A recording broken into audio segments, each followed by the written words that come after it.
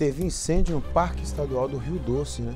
Bombeiros militares de Timóteo foram acionados para combater um incêndio na área de é, amortecimento do parque, né? O repórter Lucas Alves chega para atualizar a ocorrência. Me conta aí sobre isso, Lucas. Ô Nico, o incêndio foi registrado nas proximidades de uma das unidades mais importantes de é, conservação ambiental do país. O incidente foi no bairro Alphaville, na cidade de Timóteo, no Vale do Aço.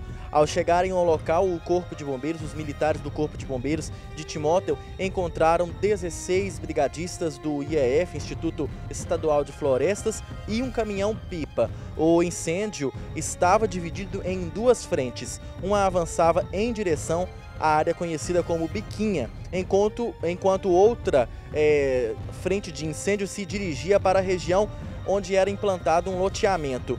Em uma ação conjunta, os bombeiros e brigadistas concentraram os esforços no aceiro, que é uma faixa de terreno sem vegetação para mesmo conter é, a barreira, é, conter o fogo, né, o alastramento do fogo, como bem relatou também a última matéria que a gente ouviu. Eles conseguiram conter o fogo em uma das frentes de incêndio, mas devido ao horário e avançado e também à exaustão das equipes, o combate à outra frente foi planejada pelo Corpo de Bombeiros para ser retomada no outro dia, então, ou seja, no sábado passado.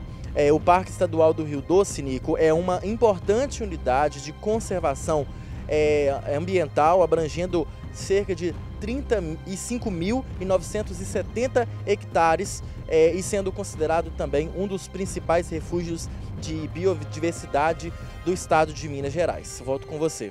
É, obrigado, viu, Lucas? Paz aí pro nosso parque, né? E ordem também, né? Viva o meio ambiente, né, gente? Pelo amor de Deus. Incêndio criminoso é um negócio absurdamente terrível, né? E olha a luta dos bombeiros e brigadistas, porque isso aí se alastra. Costumo trazer até aquelas aeronaves, né? Para auxiliar no combate aí, até para refrescar, porque o bombeiro não aguenta ficar muito tempo ali, os brigadistas, né? Tem uma roupa especial, mas isso aí é uma temperatura é, o, o corpo humano não suporta. Obrigado, viu, Lucas? Depois você volta aqui.